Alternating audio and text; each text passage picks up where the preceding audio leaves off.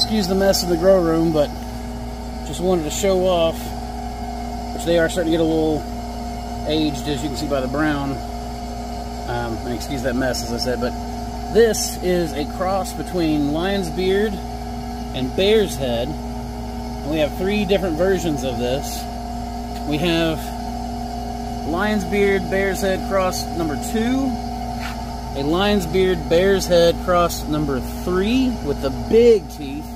There's actually more down here that are a little bit better specimens looking at it. Um, and then this is Lion's Beard and Bear's Head number four, which is so far my favorite. Look at this phenotype. It is absolutely woolly on top. Instead of browning on top, it, it just gets woolly looking. I'm going to have to come up with a really good name for this one. And this one smells so fruity when you split it open.